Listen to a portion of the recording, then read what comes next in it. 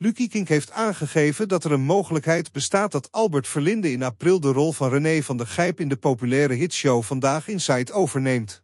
Het is niet ondenkbaar dat Albert over deze kans nadenkt, zei hij. Het huidige seizoen van Vandaag Inside is gestart met een René van der Gijp die minder gemotiveerd lijkt. Hij heeft onlangs verklaard dat hij vaker vrij wil zijn en in ieder geval niet meer in de maand april wil draaien.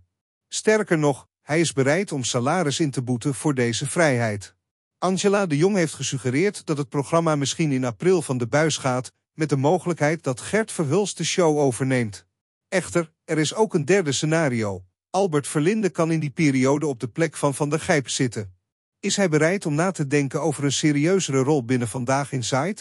Ik geloof niet dat die drie-eenheid zomaar te vervangen is, ook niet door iemand als Albert Verlinde, voegde Iking toe in een gesprek bij RTL Boulevard. Desondanks geeft hij aan open te staan voor mogelijkheden. Als er gebeld wordt en er is een plan dat aansluit bij mijn levensstijl, dan ben ik bereid om erover na te denken. Tijdens het gesprek benadrukte Luc Ikink dat hij het idee serieus neemt. Het is zeker niet gek dat Albert erover nadenkt, vooral omdat hij het al eens heeft gedaan toen René er tijdelijk niet was. Die periode werd positief ontvangen door de kijkers.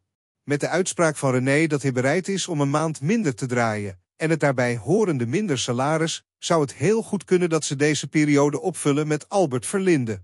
Dat zou een interessante ontwikkeling zijn voor de show en zijn kijkers.